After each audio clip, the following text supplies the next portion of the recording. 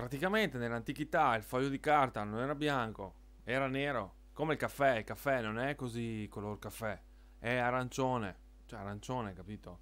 il foglio era nero, per cui sopra non ci potevi scrivere niente perché eh, non si vedeva, non c'erano le robe bianche per scrivere. Ma tanto a loro non serviva, cioè hanno inventato la carta, ma pff, non la usavano perché scrivevano ancora con i geroglifici sul muro. Le carte le arrotolavano e se le lanciavano dietro così a scuola, come facciamo noi.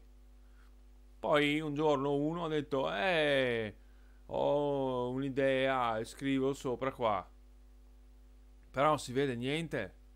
E allora hanno fatto un sbiancamento del foglio di carta. Adesso i fogli ce li abbiamo, tanti, cioè li fanno, uh, uccidono tutti quanti gli alberi, la foresta amazzonica per avere dei bei fogli bianchi. Va bene, progresso, Greta Thunberg. Però cosa ci facciamo con questi fogli? Cioè, non, non ho idee, no, non ho niente da scrivere, non ho idee.